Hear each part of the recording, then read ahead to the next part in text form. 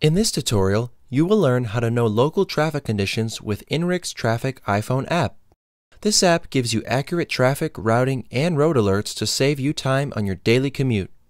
INRIX uses GPS data from over 100 million trucks, cameras, road sensors, and in-car navigation systems to create the best free traffic data available.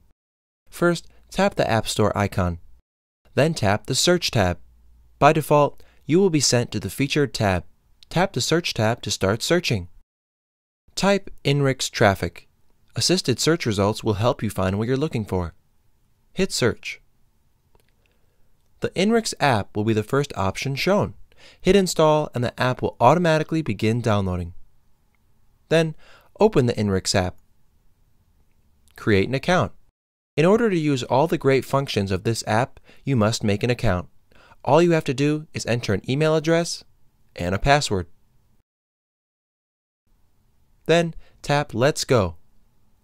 Next, use current location. A pop-up screen will then appear asking if the app can use your current location. Tap OK. Next, add a home address. Tap the tab under Home. You then have a variety of options for entering the address. If you are currently at home, you can select Current Location. Next, manually type address. Tap the Address tab and then enter your address. Once you're done with that, tap Save.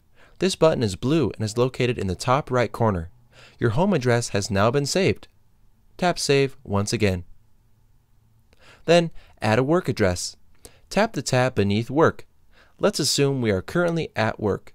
Tap the Current Location tab and the GPS satellite will determine our exact location.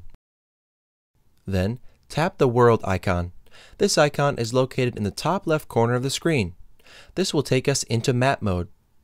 Select a leaving time. Select a leaving time by using the scroll bar at the top of the page. Then, check the traffic index. Check this by double tapping the clock icon. This will bring up a horizontal rating system which lets you know the traffic index from worse to better. Next, let's report an incident.